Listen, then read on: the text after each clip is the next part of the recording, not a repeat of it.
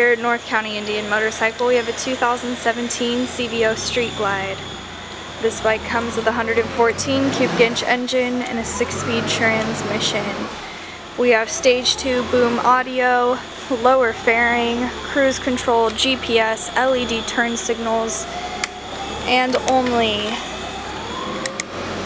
5,289 miles.